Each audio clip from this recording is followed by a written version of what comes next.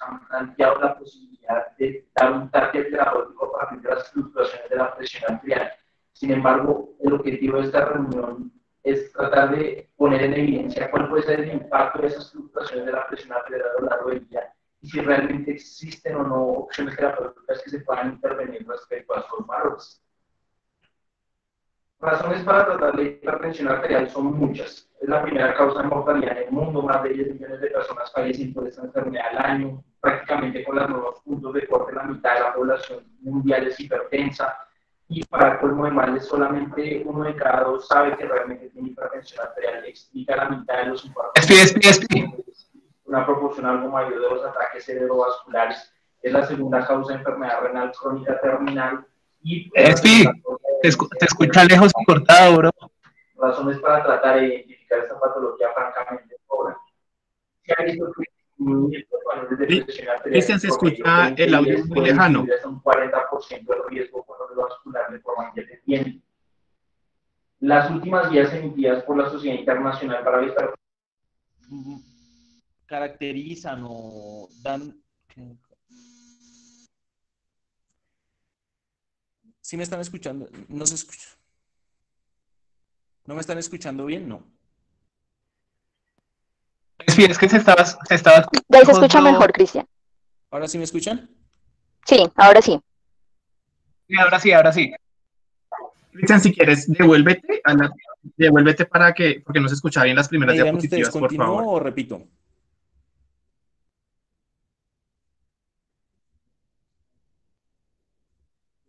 Bueno, entonces continúa a partir de acá. Las últimas definiciones de hipertensión arterial de, las guía, de la Guía Internacional para la Hipertensión clasificó o dio sus recomendaciones a partir de un manejo esencial, que es lo mínimo que debe recibir un paciente, y un manejo óptimo, que es teniendo en cuenta la última evidencia, que verdaderamente es lo que debería recibir el paciente. En ambos términos, la guía, internacional para la hipertensión está de acuerdo en que todo paciente que tenga elevación de la presión arterial sin evidencia de hipertensión arterial, valores por encima de 130-85, debe hacer sospechar la presencia de la hipertensión arterial y por lo tanto debería confirmarse con métodos ambulatorios. Esto con el fin de identificar patologías prevalentes y que tienen impacto cardiovascular, como puede ser la hipertensión de bata blanca o eh, la hipertensión enmascarada. Sin embargo, hay múltiples formas de evaluar la presión arterial de forma ambulatoria y existen diferencias respecto a sus mediciones con el consultorio. Existe la, medición de la presión arterial ambulatoria o el monitoreo ambulatorio de la presión arterial y el monitoreo en casa, en donde uno es simplemente la evaluación 24 horas a partir de un dispositivo y la medición o monitoreo en casa corresponde a mediciones realizadas por el paciente. ¿Cuál es la diferencia con las mediciones en el consultorio? Que la reproducibilidad, francamente, de las mediciones es muchísimo mayor en las mediciones ambulatorias que permiten evaluar los fenómenos de bata blanca, que identifica variaciones o fluctuaciones de las presiones arteriales a nivel nocturno, que vamos a ver más adelante la importancia de su identificación, y que hay, y si bien la evidencia más robusta está basada en las mediciones que se toman en el consultorio, en los últimos años hay evidencia más creciente de los desenlaces cardiovasculares que se pueden medir mediante mediciones ambulatorias. Sin embargo, el blanco más importante de estas mediciones es que esto favorece la educación, el compromiso del paciente con su patología. Bien sabemos que los pacientes que tienen patologías crónicas, el hecho de que se les pueda educar y que se apropien de su enfermado favorece los desenlaces clínicos. Dependiendo del tipo de medición que nosotros empleemos, bien sea ambulatoria bien sea en el consultorio, los puntos de corte varían.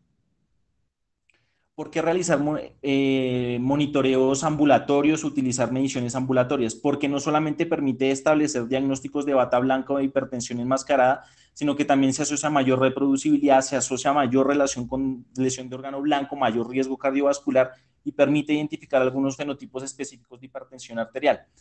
Teniendo en cuenta todo lo anterior, ¿qué dicen las tres guías principales respecto al uso de las, de las mediciones ambulatorias de la presión arterial?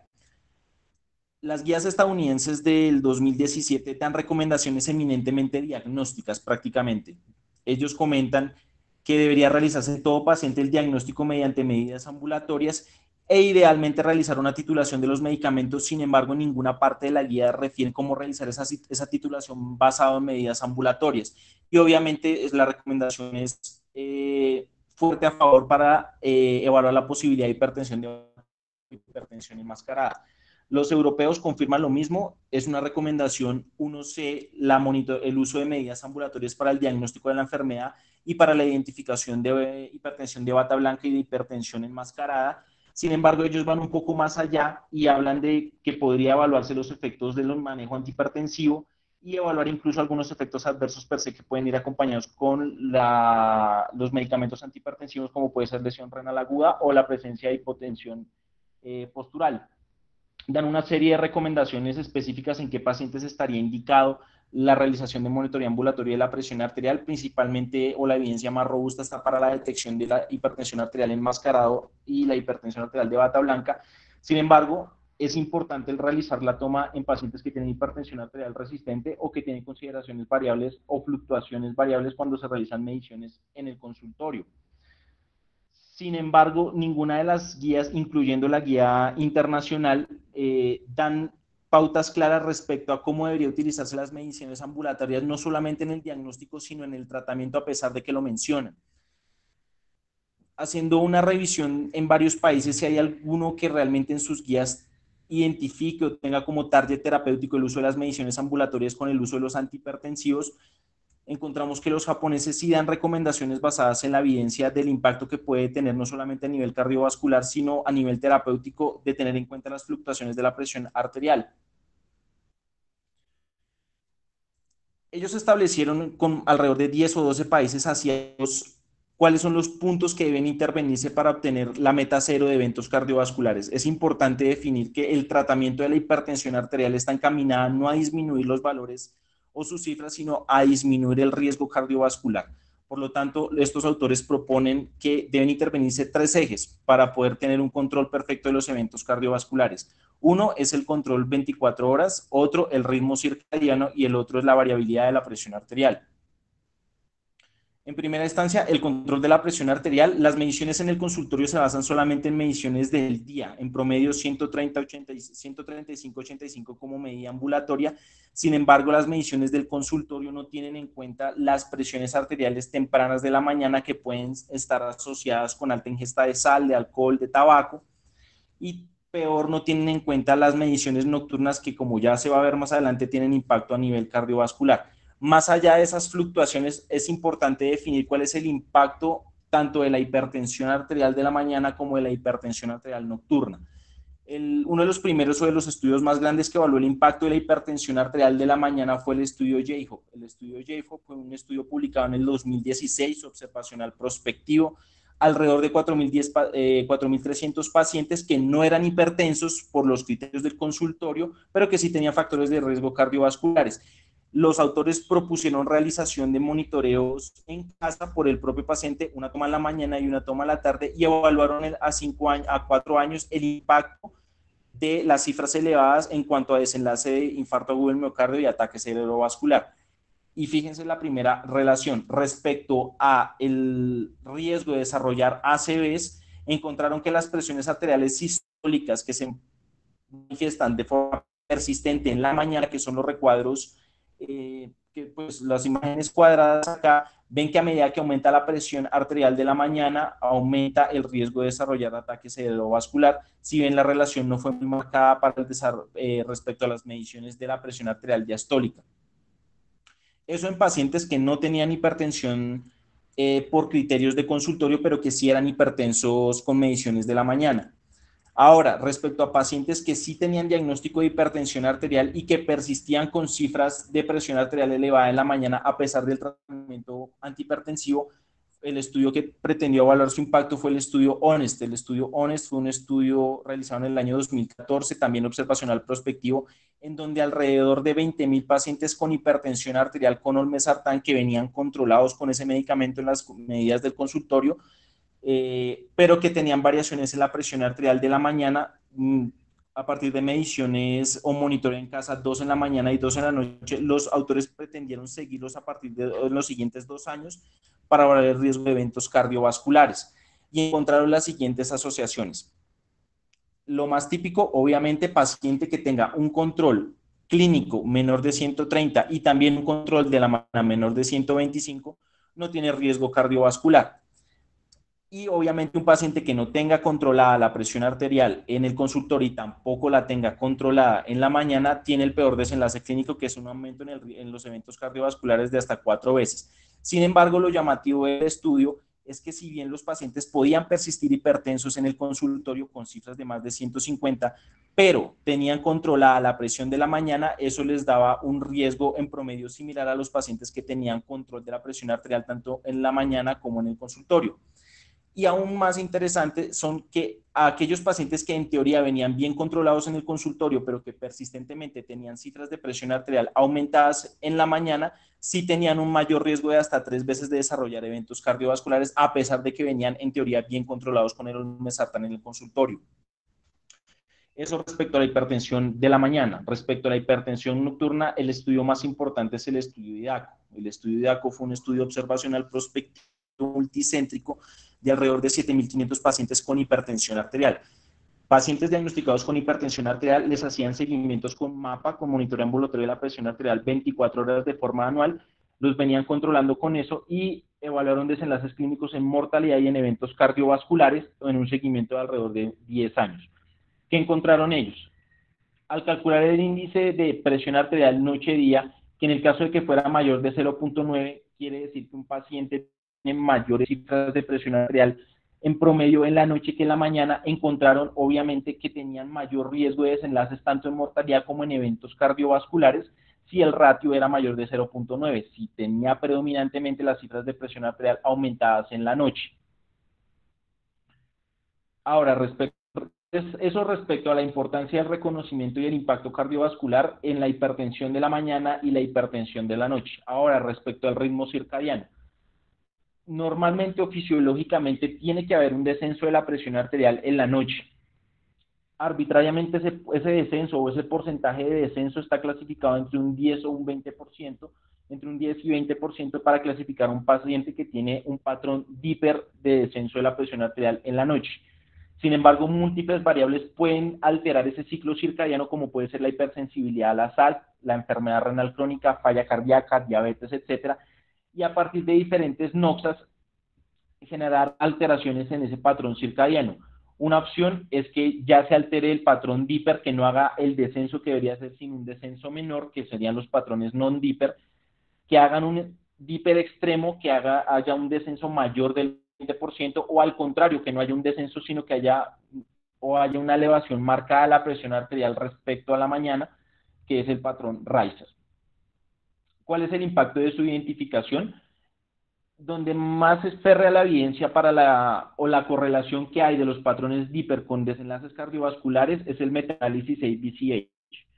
En ese metaanálisis ajustaron el riesgo de eventos cardiovasculares y mortalidad dependiendo del tipo de patrón que tenía el paciente, si era un extremo DIPER, si era DIPER, si era non-DIPER o si era un RISER el riesgo cardiovascular en pacientes extremos, o sea, que tienen un descenso marcado de la presión arterial en la noche, ellos encontraron que no había diferencias si se ajustaba o no a la presión arterial en promedio en 24 horas. Sin embargo, lo llamativo es cuando separaron los pacientes que no venían tratados para la hipertensión arterial versus los que sí estaban tratados, encontraron que el desarrollo de, de extremo en pacientes que no estaban tratados para la hipertensión arterial aumentaba el riesgo cardiovascular, pero en aquellos que estaban tratados eh, para la hipertensión arterial, el riesgo es, o, la, o el desarrollo del patrón de tenía una asociación negativa con esta entidad. Ahora, el riesgo cardiovascular en pacientes no hiper, o sea que sí desciende la presión arterial, pero no desciende lo que debería descender, sí se asocia a mayores eventos cardiovasculares con un hazard ratio en promedio de 1.3, 1.4. Y este riesgo se duplica cuando el paciente desarrolla un fenotipo Reiser, es decir, que ya no hay un descenso, sino un aumento en la noche con un hazard ratio en promedio de 2. La evidencia es muy controversial entre, las, entre los desenlaces cardiovasculares que pueden tener los hiperextremos. Fíjense que estos son varios de los estudios que se habían propuesto para evaluar el riesgo cardiovascular en pacientes extremos en donde algunos encuentran que las, que las diferencias son similares en ambos grupos, otros dicen que sí se asocia a mayores eventos principalmente eh, a nivel del sistema nervioso central, pero algo que sí es determinante es que el patrón Reiser en la mayoría de los estudios sí se correlaciona con peores desenlaces clínicos, mayor mortalidad, en general mayor mortalidad cardiovascular, más eventos coronarios y más eventos cerebrovasculares. Hay varias formas de identificar la hipertensión arterial de la mañana. En promedio, la recomendación o idealmente sería solicitar el mapa, dado que este permite evaluar las cifras de presión arterial dos horas antes de que el paciente se levante y dos horas después de que el paciente se levante.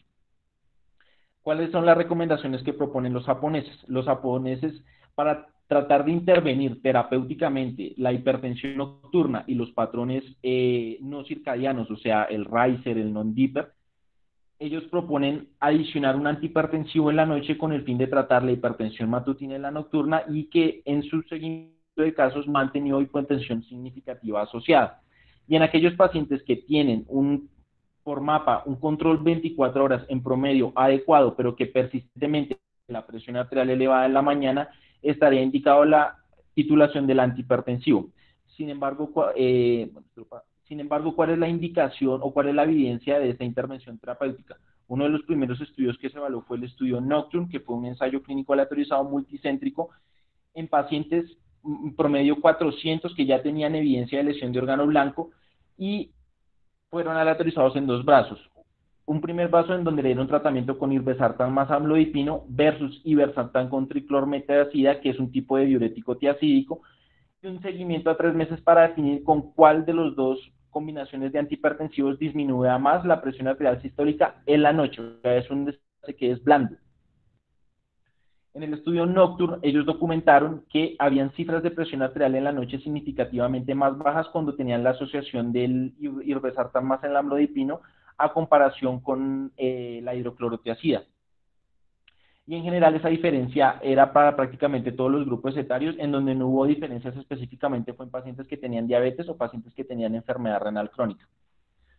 Sin embargo, esto no dejaba de ser un desenlace blando. Lo importante en el tratamiento de la hipertensión arterial es impactar en desenlaces cardiovasculares. Múltiples estudios no tienen cómo comparar la toma del antihipertensivo en la mañana ni el antihipertensivo en la noche, a excepción de un estudio que fue el estudio MAPE. El estudio MAPE fue un estudio del año 2010 realizado por el doctor Hermida, en donde sí había un grupo de, de, intervención y un grupo de control claro de pacientes que los controles debían por tratamiento estándar tomar los antihipertensivos como están recomendados en las guías que sean todos en la mañana versus la intervención que es que se tomaran por lo menos uno de los antihipertensivos en la noche y francamente los resultados pues fueron muy buenos.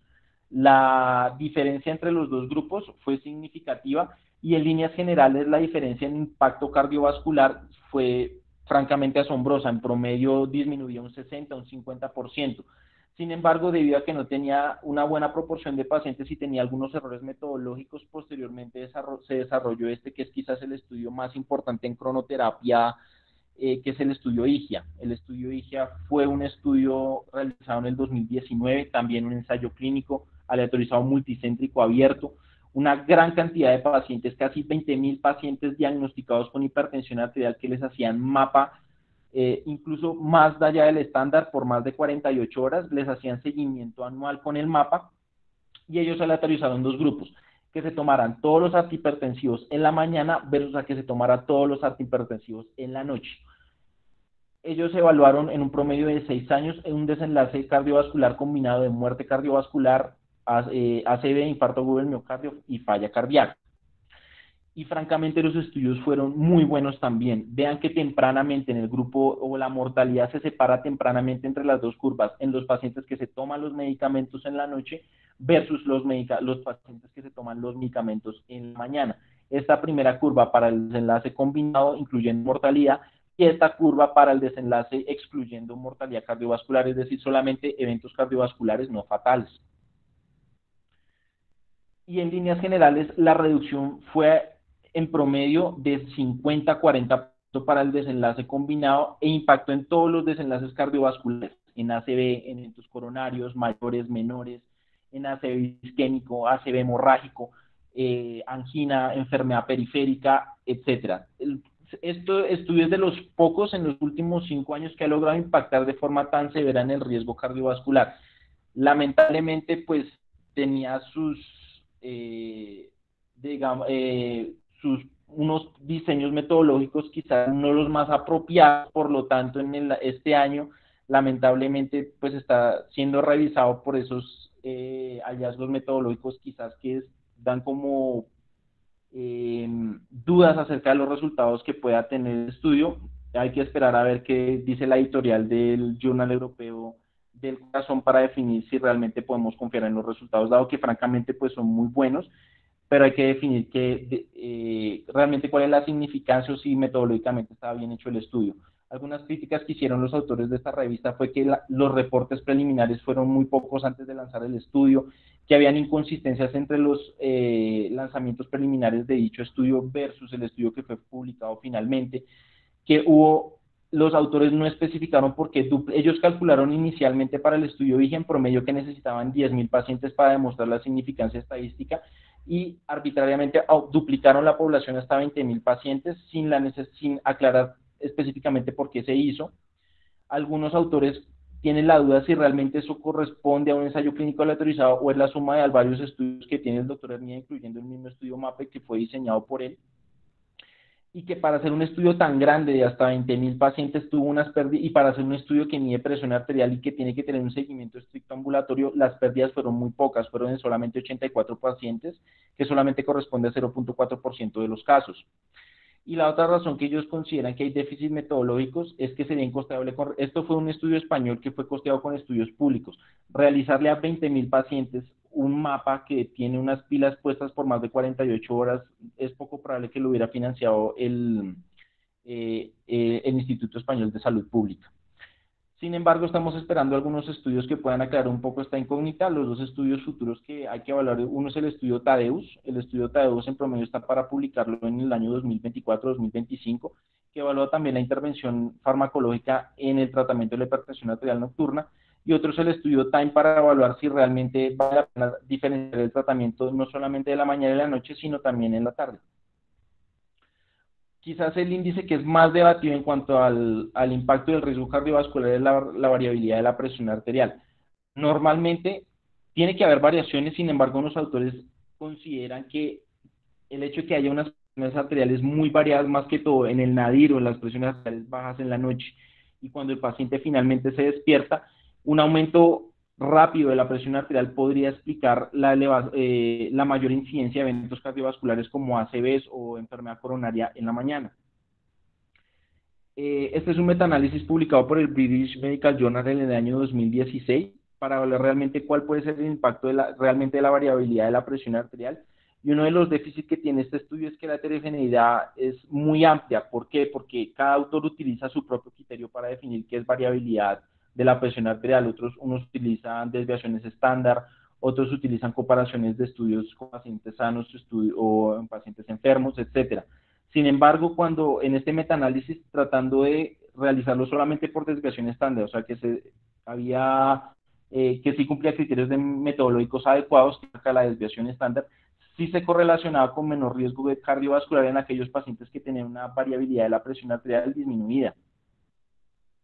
Y uno de los impactos cardiovasculares que más, o uno de los desenlaces cardiovasculares que al parecer más se correlaciona con un aumento de la variabilidad de la presión arterial aumentada, es el desarrollo de ataque cerebrovascular con un promedio de hazard ratio en promedio de 1.2.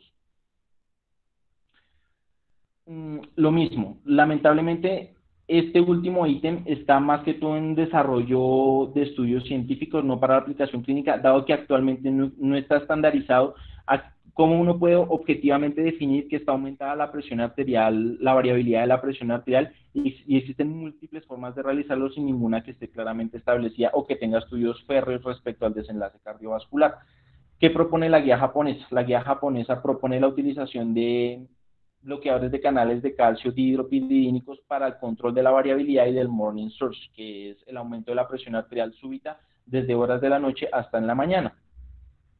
Esto es un, simplemente un recopilado de todos los estudios que han evaluado terapéuticamente el uso de los, beta de los em, bloqueadores de canales de calcio en desenlaces cardiovasculares para intervenir la variabilidad. Y si bien es controversial, la mayoría de la evidencia apunta que sí podría ser útil la utilización de los, de los bloqueadores de canales de calcio. Finalmente, esto es un resumen de lo que propone uno de los expertos mundiales en cronoterapia en hipertensión arterial, que es el doctor Kazuo él propone que en primera instancia uno debe realizar un control cuantitativo de la presión arterial. Es claro que disminuir la presión arterial en pacientes que son hipertensos impactan en enlaces cardiovasculares. En promedio, una disminución de 20 milímetros de mercurio en la presión arterial sistólica disminuye el riesgo cardiovascular en promedio un 20%, un 40%, perdón. Intervenir esta, eh, intervenir la presión arterial en promedio de las 24 horas, eh, idealmente hacerle seguimiento con medidas ambulatorias y posterior a realizar un control cuantitativo, sí realizar un control cualitativo, en donde se intervenga la variabilidad y se intervenga los patrones circadianos y, los, y la hipertensión arterial nocturna. Eh, para intervenir la, la variabilidad de la presión arterial, lo mismo, utilizar bloqueadores de canales de calcio y eventualmente los bloqueadores del eje renina-angiotensina aldosterona. Y para la intervención de la hipertensión arterial nocturna y de los patrones Reiser, obviamente siempre descartar causas secundarias, eh, como puede ser la enfermedad renal crónica, disautonomía por diabetes, eh, eh, sajos, por ejemplo. Esto simplemente es para reconocer que el trabajo, hay mucho que investigar en este ámbito. El doctor Hermida, que es el autor del estudio IGE y del estudio MAPE, fue alumno del doctor Franz Holberg, que es el padre de la cronoterapia moderna y actualmente es el que lidera los ensayos clínicos más altos. Él es el autor de, o es el que va a desarrollar el estudio Tadeus que mencioné previamente. Y el otro es el doctor Kazuo Mikario, que es el líder del consenso japonés. Él tuvo como profesor al doctor Thomas Pickering, que fue el primer médico que eh, evaluó la correlación de la hipertensión arterial eh, de bata blanca y la hipertensión arterial enmascarada en desenlaces cardiovasculares. Como mensajes para la casa, la hipertensión arterial es la principal causa de morbimortalidad a nivel mundial. Las guías actualmente, las principales, las guías americanas, la guía europea y la guía internacional, dan más validez al uso de las mediciones ambulatorias en cuanto al diagnóstico. Sin embargo, en el eje terapéutico, si bien lo recomiendan, no son específicos a la hora de decir cómo tratarlo o cómo utilizarlo, que la hipertensión arterial de bata blanca y la hipertensión enmascarada se asocia a un mayor riesgo cardiovascular y respecto a las, presiones eh, a las variaciones circadianas, la hipertensión arterial nocturna y los patrones Reiser francamente están asociados con peores desenlaces cardiovasculares. La medición que tiene menor correlación o impacto tanto a diagnóstico como terapéutico es la variabilidad de la presión arterial, dado que su medición actualmente es muy heterogénea y no está estandarizada. Y que quizás la intervención más importante hasta el momento que era en cronoterapia, que era el uso de los antihipertensivos en la noche, realmente ahorita es controversial pues por todo lo que le está pasando al estudio IGE, sin embargo estamos pendientes de los estudios TADEUS y del estudio TIME para definir realmente si vale la pena o no pasar los antihipertensivos a la mañana a pasarlos en la noche. Muchas gracias. Gracias, Cristian, por la presentación, estuvo muy ilustrativa. Eh, hay una pregunta y es, ¿cuál es la comparación entre los esquemas de administración AM versus PM los antihipertensivos y si tienen diferencia en la adherencia terapéutica? Ahorita la diferencia, lo mismo, el estudio más grande que se ha utilizado pues es el IGIA, eh, si bien los desenlaces cardiovasculares fueron, la reducción en desenlaces cardiovasculares fue muy bueno, fue una disminución del 40%, em, pues ahorita está siendo estudiado pues por déficits metodológicos que puede tener el estudio. De lo que se encontró en la, o la revisión que yo hice en la literatura, el uso de los antihipertensivos en la noche no se asocia por lo menos a peores desenlaces adversos tradicionalmente se nos comenta que el uso, por ejemplo, de los diuréticos específicos en la noche puede disminuir la adherencia en el tratamiento, ya que puede generar nocturia. Eh, eso habría que evaluarlo en los estudios, a ver si realmente eso impacta en el, en el desarrollo de patrones DIPER, que en, los pacientes ancianos hay estudios que evalúan el desarrollo de patrones DIPER extremos con desenlaces en ACV en pacientes ancianos, se correlacionan en algunos estudios japoneses. Eh, eso ahorita no es muy claro. La recomendación ahorita, por ejemplo, de la guía europea, es de momento seguir utilizando los antihipertensivos en la mañana, dado que no hay evidencia férrea que demuestre que el uso de los antihipertensivos en la noche impacte en desenlaces cardiovasculares. Sin embargo, en los estudios que se revisaron pues para la realización de esta presentación, por lo menos no hay un efecto adverso claro, a excepción de la nocturna que puede inducir la hidroclorotiazida cuando se administra en la noche. Gracias, Cristian. Yo tendría una pregunta y es, ¿Cuál sería la recomendación de la medición de la presión arterial? Si debe hacerse automatizada, manual o son intercambiables y en los ensayos, ¿cuál utilizaron? Ahorita la recomendación, por ejemplo, el mismo doctor acá, Kazuo Mikario, él en una revisión que realizó también en en la sí, para la sociedad americana, él recomienda empezar a utilizar más el, monitoreo en casa que el mapa. ¿Cuál es la desventaja del mapa? Que el mapa eh, es costoso en algunos países y no permite un seguimiento estricto del paciente, a diferencia de un monitoreo en casa que sí se puede realizar. Si hay estudios que, comparan el monitoreo en casa versus el mapa, Sí, sí los hay, por lo menos dice que son similares en cuanto al desarrollo de desenlaces cardiovasculares y en el diagnóstico de hipertensión arterial sirven de igual forma. ¿Cuál es la desventaja del monitoreo en casa? Que si no se tiene la tecnología adecuada no permite evaluar los patrones circadianos nocturnos. Sin embargo, este mismo autor ha diseñado un dispositivo que permite medir de forma eh, a partir de movimientos que normalmente los pacientes pueden tener en la noche para que active el sensor y pueda medir la presión arterial sin necesidad de un mapa, a partir de tecnología de, monitoreo en casa. Eh, en todos esos estudios, por ejemplo, en el más importante que fue Ligia, ellos utilizaron fue mapa. Utilizaban mapa, eh, obviamente, lo trataban, el médico, el médico tratante le hacía seguimiento periódico en promedio dos a tres meses y le realizaban un mapa anual por 48 horas eh, por los siguientes 10 años. Actualmente las guías se están decantando más a utilizar un monitoreo en casa que un mapa, por costo efectividad y porque permite un mayor apropiamiento del paciente de su propia enfermedad. Otra duda que hay es si existe evidencia de disminución de eventos cardiovasculares en etnias diferentes a la blanca, es decir, específicamente en la población afroamericana. Eh, sí, ahorita eso va más que todo al tipo de los antihipertensivos, ¿sí?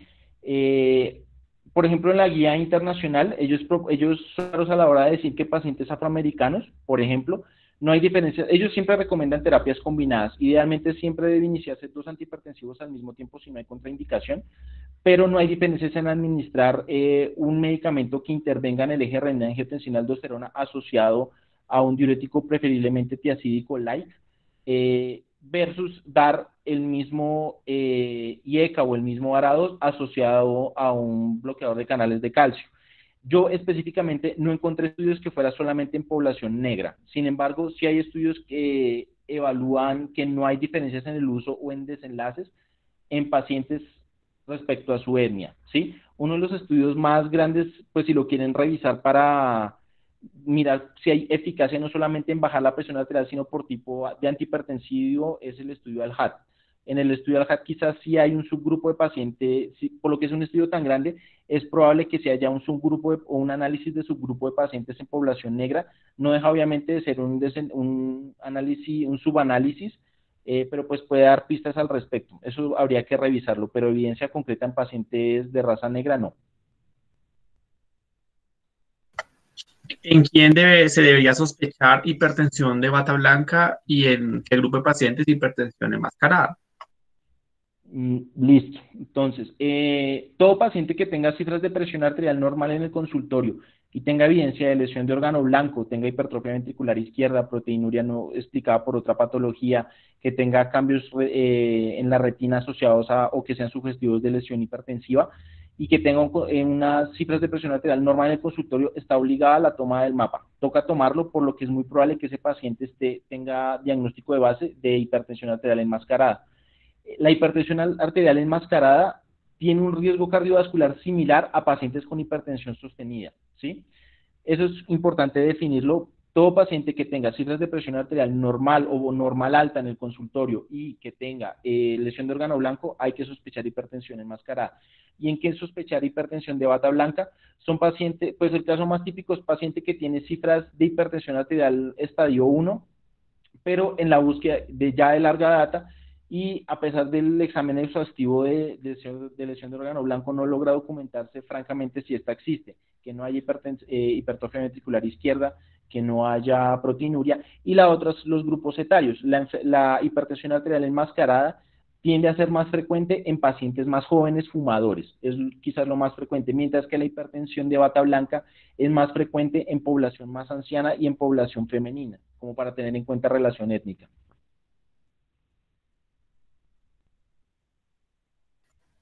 Una pregunta adicional es el seguimiento de los pacientes en que están en cronoterapia, ¿con qué se debe hacer? Si es con mapa y si es así, cada cuánto se recomienda su repetición. Actualmente las guías recomiendan el uso del mapa predominantemente como un ejercicio diagnóstico. Ahorita sí hay evidencia ferra que todo paciente debería realizársele un mapa en primera instancia cuando yo tengo la sospecha diagnóstica de hipertensión arterial.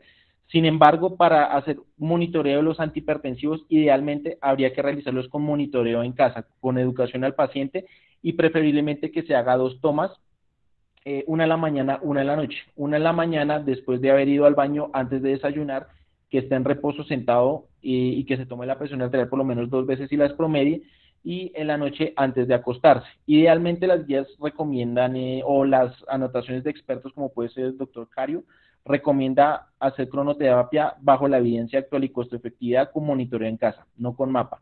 El mapa reservarlo específicamente para, eh, hasta el momento, para la sospecha de hipertensión de bata blanca, de hipertensión enmascarada, pacientes con hipertensión secundaria algunas veces hacen alteraciones circadianas, como puede ser por enfermedad renal crónica o por sajos, eh, y también para la evaluación de la hipertensión arterial resistente. También lo recomienda, por ejemplo, la guía europea, eh, la solicitud del mapa. Pero idealmente para cronoterapia, si no quisiera installarlo, idealmente con monitoreo ambulatorio, con monitoreo en casa por el mismo paciente. Bueno, Cristian, muchas gracias por la intervención y de nuevo por la excelente conferencia. Eh, los invitamos nuevamente a este espacio dentro de ocho días en el mismo horario. Estaremos publicando por nuestras redes sociales prontamente la siguiente conferencia y agradecemos a todos los presentes que tengan una feliz tarde. Hasta luego, gracias.